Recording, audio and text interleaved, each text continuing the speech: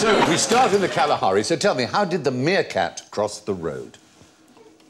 Carefully. That's not a life-size one, is it? That's not a, well, well, it is a life-size one. I'd say it was in the foreground, except there's a bit of road before it. Yes, it's confusing, It's isn't it? It's just a very tiny car. It's a dinky car. Do they cross in a group? Like, like you know, when you see those kids in the reflective jackets Yes. snaking across the road with some sort of handler.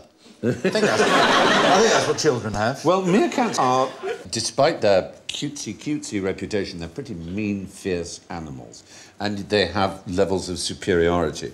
And the leading meerkat sends across the less important meerkat to test the road. and it's the That'll be you youngsters. tonight, Do you want me to John. test it tonight? It's your first children. time. You have to cross the set. Unbelievably, it's the children they send. the children? They send their little Once again, that'll be me tonight. Well, we do Please. the same. We do the same with buggies, right? You push them straight out into the road before you. so what, what are they testing? That it's not going to get hit by a car? Yeah, exactly. Basically, that it's safe. And if the youngsters get gobbled, they go, "Oh, I'm not doing that." Do they, they not understand that there might be another car in a minute? It seems odd, but Well, that all one's been killed by a car, so we'll all be fine.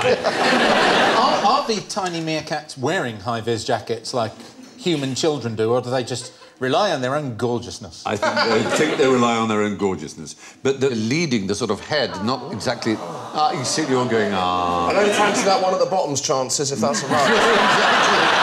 He knows he's You know about what's to be coming. sent. that one behind him's just about to do that.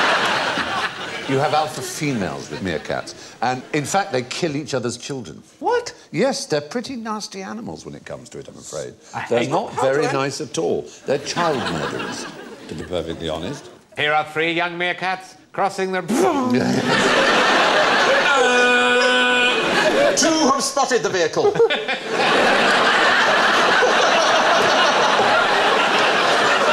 The youngest one? Barry did not. Unfortunately, because of the adverts, a lot of people have bought them as pets. And they very soon abandon them because they're smelly, they're aggressive, and they attack people Yeah, they but- don't But know. you know what? These People are like have never died crossing a road, have they? No, they haven't, and the meerkat always worried that someone's about to kick them in the knackers. Looks like looks like someone's about to take a free kick, doesn't it? It does.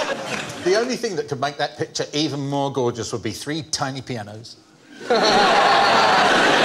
Meerkats know each other by their calls individually, and you can send a meerkat almost insane by recording one meerkat's voice that it knows, playing it in a certain area, and then whizzing round to another area and playing it again. And Why it- would you do that such a thing?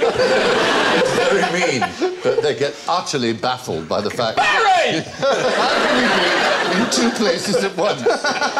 there is no meerkat called Barry, by the way, but it's an. no. You, you could do that with a human voice, because we recognise everyone through their voices True, as well, but we don't also know about recordings. Oh.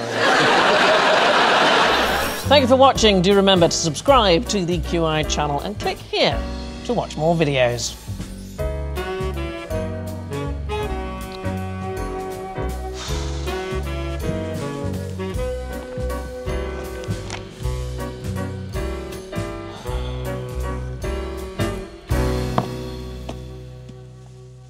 Please, come on, pick something.